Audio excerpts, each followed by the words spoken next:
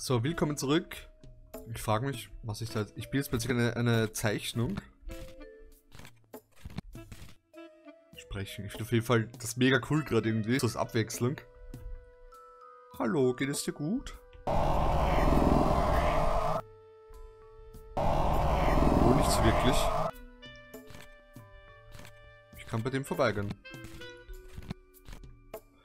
Was ist mit deinem Freund passiert? Er hat die Wahrheit gesucht und die Wahrheit hat seine Seele zerstört. Lass uns nun bitte alleine. Dein Kopf verängstigt die Kinder. Kannst du mir sagen, wo dein Freund riskiert hat, die Erleuchtung zu finden? Er ist zum weißen Propheten gereist, hinter den Feldern des Todes. Aber ein Rundkopf wie du wird es nie schaffen. Okay. Geht es dir gut? Was ist mit deinen Gliedmaßen passiert?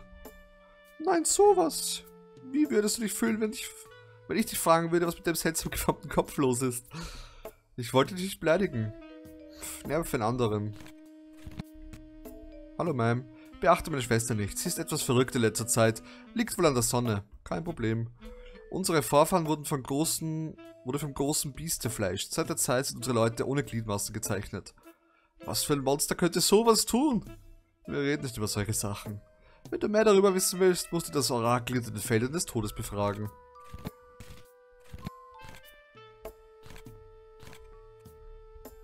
Bist du das große Monster? Fick dich selber. Nein, tut mir leid, check mir keine Beachtung. Meine Laune ändert sich mit dem Stand der Sonne.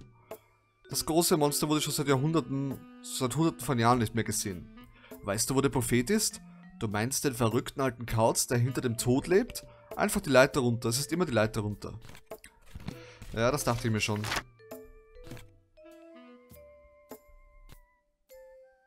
Ich finde das gerade so krank. Da wurde ausradiert. Hallo? Du hättest nicht hierher kommen sollen. Wo, wo bin ich? An einem dunklen Ort. Ist das das Feld des Todes? Schreckliche Dinge geschehen, wenn die Sonne erlischt. Ist Feld des Todes wegen dem Radierer gemeint?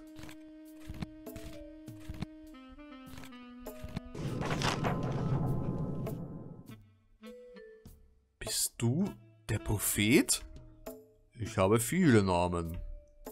Weißt du etwas über das große Monster? Es kroch vor vielen Jahren durch das große Loch. Es verwüstete alles für Jahrzehnte, bis es durch eine große Explosion im Himmel stillgelegt wurde. Viele dachten, das Monster wäre tot, aber wir wussten es besser. Was ist das große Loch? Vor Äonen haben wir das große Loch erschaffen, in dem papierähnlichen Material dieser Welt. Ein Loch, welches das gesamte Wissen des Universums beinhaltet. Wie komme ich dorthin? Was ist dir die Wahrheit wert? Ähm, alles.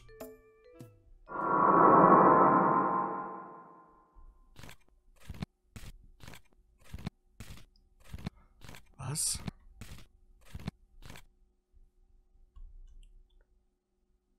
Da ist das große Loch.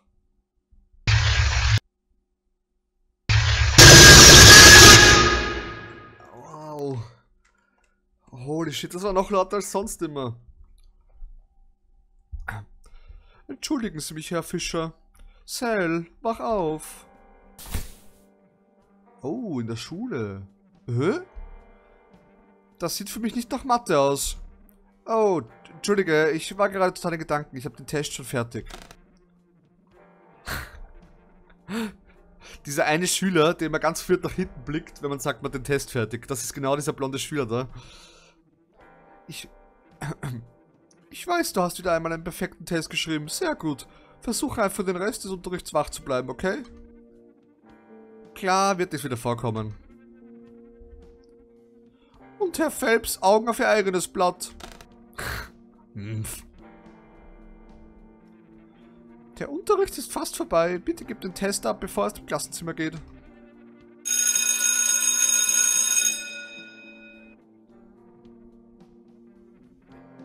Hey Freak. Niemand mag einen Streber. Sally Face. Niemand mag einen Klischee-Mobber, Travis. Hast du nichts Besseres zu tun? Oh, das ist die Ash wieder. Halt die Fresse, Bitch. Ich habe nicht mit dir geredet. Weißt du, wenn du endlich den Stock aus deinem Arsch ziehen würdest, würdest du vielleicht sogar Spaß haben. Oder auch sogar ein paar Freunde finden. Fick dich, Wurm. Ich habe mehr Freunde, als du jemals haben wirst. Hast du deinen Daddy mit Zunge geküsst? Ich bin mir sicher, er... Was zur Hölle? Arschloch. Geht es dir gut, Seil? Alles okay. Komm, gehen wir, mit, gehen wir es dem Rektor melden. Nein, keine Sorge deswegen. Es wird das Ganze nur noch schlimmer machen, glaub mir. Sel, du, du blutest. Es geht mir gut, wirklich. Hier, nimm mein Bandana. Warte, ich, du, kann, mir...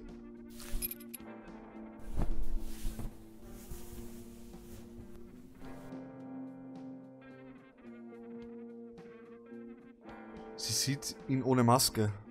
Sieht aus, als wäre es nur ein Kratzer. Keine Sorge, man kann es nicht mal wirklich sehen. Äh, dank, danke, Ash.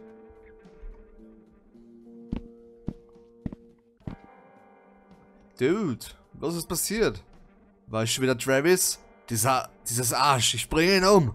Larry, mir geht es gut, es ist okay. Du brauchst dir keine Sorgen zu machen. Sel hat recht, wenn wir uns einmischen, wird es noch schlimmer. Nicht, wenn er tot ist. Dann würde er vermutlich die Schule heimsuchen und wir wären mit diesem Idioten weitere zwei Jahre hier gestraft. Ha, das sagt gerade die Gruppenskeptikerin. Ihr wisst, dass ich euch liebe, Jungs, aber diese Geistergeschichten sind selbst für mich zu viel. Also lassen wir Travis einfach so davonkommen? Es ist nicht wert. Es ist es nicht wert. Denk doch mal nach. Wer weiß, wie es bei ihm zu Hause sein muss. Er hat einiges an Wut aufgestaut. Da muss doch irgendein Grund sein. Deswegen hat er auch vielleicht das blaue Auge. Ich bin mir ziemlich sicher, dass er wütend ist, weil sie den Fleischwurst... Weil sie den, den Fleischwurst-Sandwich-Tag auf morgen verschoben haben. Ah, okay. Hä? Ernsthaft, ich habe noch nie jemanden gesehen, der das schlechteste Esstag so sehr liebt. Es ist wie ein Gefängnisessen. Und er mag nicht mal den Pizzafreitag. Wer mag keine Pizza? Das, das ist unmenschlich. Und ja, sie hat recht. Vielleicht ist er ein Alien. Ha, genau was wir noch brauchen. Psst, Larry. Ich werde dir helfen, Travis zu töten, wenn Sam nicht hinschaut. Das habe ich gehört. Am nächsten Tag, der Fleischwursttag. Knockfell High School.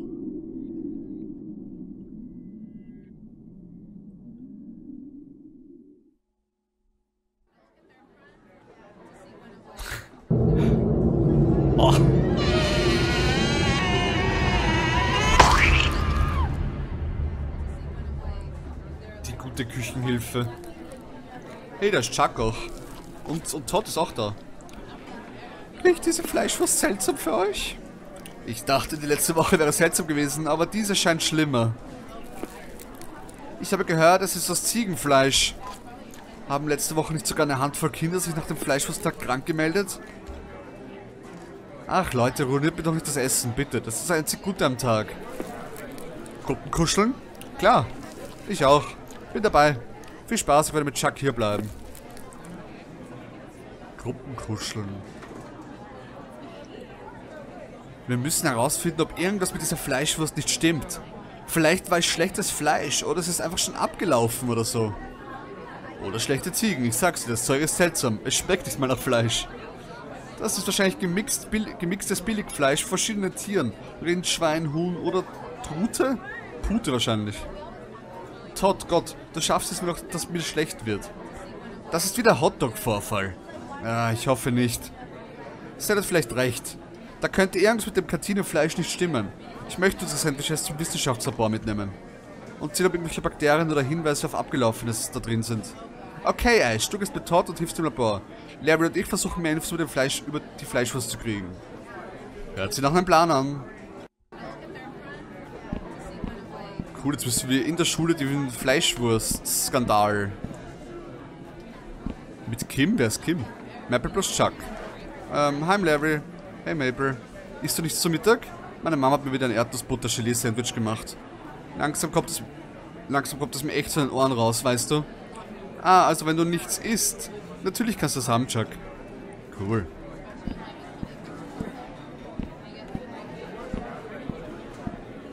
Travis. Dachtest mir doch, dass ich hier Müll rieche. Na, was habt ihr Noobs sofort? Warum sagt er Noobs? Verzieh dich, Travis. Musst jetzt irgendwelche Sandwiches essen. Glück für euch, dass Fleischwursttag ist. Ah, das ist Kim. Geht's da noch wohin? Flur?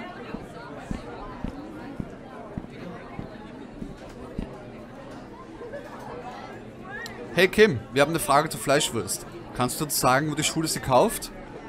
Darum wollt ihr das wissen. Stimmt das mit Kims Kochen nicht? Nein, nein, wir wollten es nur wissen, wo... Ihr Kinder setzt euch wieder auf eure Stühle. Keine weiteren Fragen. Können wir vielleicht die Verpackung oder keine Verpackung oder so für euch? Nur eure fucking Hintern auf den fucking Stühlen. Los geht's schon. Was für ein Fehlschlag. Sie, sie sieht immer so unglücklich aus. Ich frage mich, warum sie immer noch hier ist. Als würden die Kinder sie krank machen oder sowas. Hey, was, wenn Kim das Essen vergiftet? Ich weiß ja nicht, ob wir noch weitere Verschwörungstheorien brauchen können. Aber wir könnten es mal in Betracht ziehen. Warum versuchst du nicht mal ins Rektorbüro zu kommen, um da nach Dokumenten zu suchen? Währenddessen gehe ich mal nach Todd sehen. Okay, mal sehen, was ich tun kann.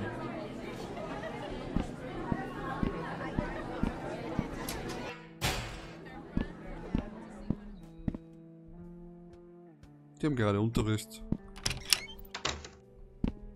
Was war das für ein Zimmer? Ich hab's gar nicht gelesen. Frau Packersons Gastzimmer. Okay, das ist wahrscheinlich unsere Klasse. Das Final-Examen ist am 23.05. Und natürlich wie immer Mathe. Es ist immer Mathe.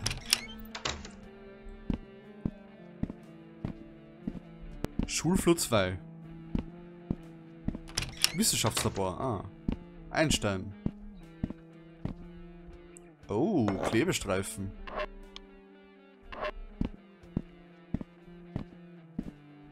Da ist Todd. Etwas gefunden? Noch nicht. Hast du die Inhaltsstoffe? Nein, noch nicht. Wo ist Ash? Sie ist ein paar Materialien holen gegangen für mich. Ich habe sie zur Hausmeisterkammer geschickt. Eigentlich dachte ich, sie wäre schon wieder zurück. Bin gleich zurück.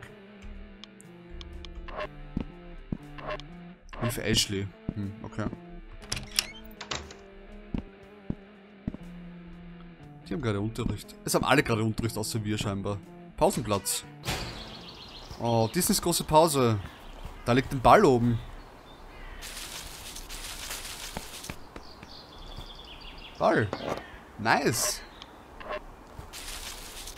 Dass man mehrmal an den Baum schütteln kann, wo nichts dasteht, habe ich jetzt auch nur durch Glück herausgefunden. So in den Flur. Fenster. Die Lehrer sind da drin und essen. Vögel. Ich sehe nichts, sie verstecken sich wohl. Na gut, dann wieder rein in den Flur.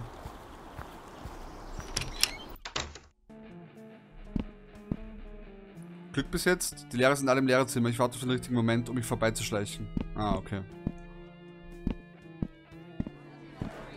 Cafeteria. Herrentoilette.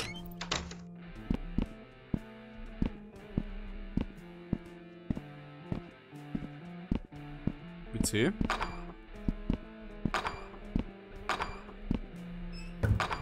Dass es geht, aber nichts Besonderes.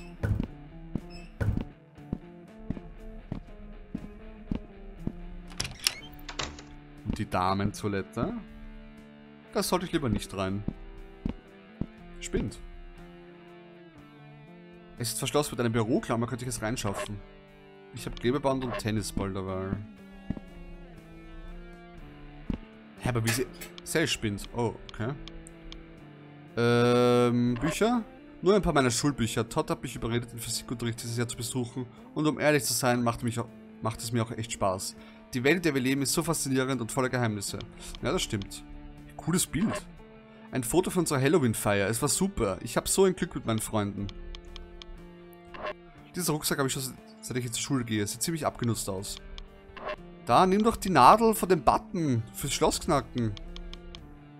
Kann man doch umbiegen. Spinde? Wir verwenden immer nur Büroklammern, um die Spinde zu öffnen. Es geht schnell und wir vergessen ohnehin nur unseren Zugangscode. Wenn ich eine Büroklammer hätte, könnte ich die Spinde öffnen. Also ich würde immer noch sagen, den Button runternehmen, ähm, das Ding verbiegen und schon hast du eine Büroklammer. Cafeteria. Gerade Unterricht. Äh, wo ist denn jetzt das Hausmeister-Ding? Schulflur 2, Wissenschaftslabor. Pausenplatz, da muss ich wahrscheinlich weiter. Ah, da ist die Ashley. Hey, was ist los? Es ist verschlossen, ich brauche etwas daraus, um die Fleischwurst zu testen. Ich habe versucht, es aufzubrechen, wie Larry es mir gezeigt hatte, aber jetzt steckt meine Haarklammer darin fest. Hm, ich könnte mit einer kleinen Zange versuchen, sie rauszuholen, aber... Aber die sind in der Kammer vom Hausmeister und er geht immer über den Mittag weg. Mal sehen, was ich finden kann. Danke, ich versuche in der Zwischenzeit weiterhin sie rauszuholen. Eine Zange. Von wo soll ich eine Zange herbekommen?